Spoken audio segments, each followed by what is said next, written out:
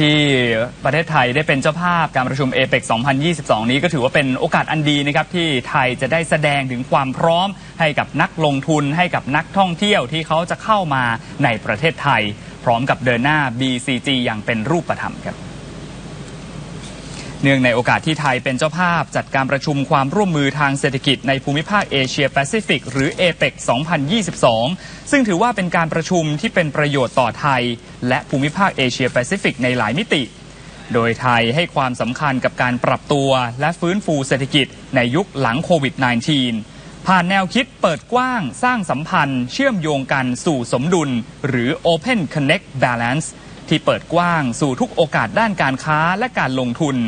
ส่งเสริมการรวมตัวทางเศรษฐกิจในภูมิภาค เพิ่มความเชื่อมโยง ฟื้นฟูการเดินทางระหว่างการที่สะดวกปลอดภัยดำเนินธุรกิจอย่างมีความรับผิดชอบ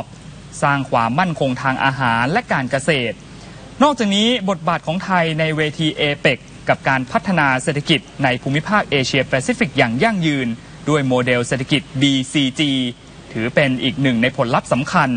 ซึ่งคนไทยและประชาชนในภูมิภาคจะได้ประโยชน์ในระยะยาว จากการค้าการลงทุนที่เอื้อประโยชน์ต่อคนทุกกลุ่ม และที่สำคัญเพิ่มโอกาสทางเทคโนโลยีดิจิทัล ใส่ใจสิ่งแวดล้อม พร้อมรับความเปลี่ยนแปลง โดยไม่ละทิ้งแนวทางการดำเนินธุรกิจที่เป็นมิตรกับสิ่งแวดล้อม และสร้างสมดุลในทุกด้านครับ